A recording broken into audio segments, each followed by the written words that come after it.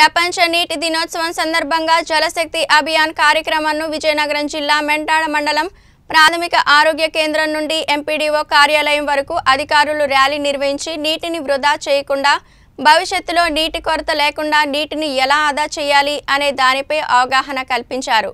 ఈ సందర్భంగా మండల ప్రత్యేకాధికారి రమణమూర్తి మాట్లాడుతూ జగనన్న ప్రవేశపెట్టిన జలకళ కార్యక్రమం అందరూ విజయవంతం చేయడం కోసం కృషి చేయాలని అన్నారు. రైతుల పంట పొలాలకు సాగునీరు అందించేందుకు బృహత్తర ప్రణాళికతో జలకళ ప్రారంభించబడిందని ప్రతి గ్రామంలో ఉచితంగా రైతులకు బోర్లను వేసే కార్యక్రమం చేపడుతున్నామని అందరూ రైతులు వినియోగించుకోవాలని ఈ సందర్భంగా గుర్తు చేశారు. ఈ కార్యక్రమంలో ఎంపీడీఓ భానుమూర్తి మండల పంచాయతీ విస్తీర్ణ అధికారి వాణిశ్రీ ఆరోగ్య కేంద్ర వైద్యాధికారి క్షేత్ర సాంకేతిక సహాయకులు సచివాలయ సిబ్బంది ఏపీఓ ఉపాధి హామీ పథకం సిబ్బంది తదితరులు పాల్గొన్నారు.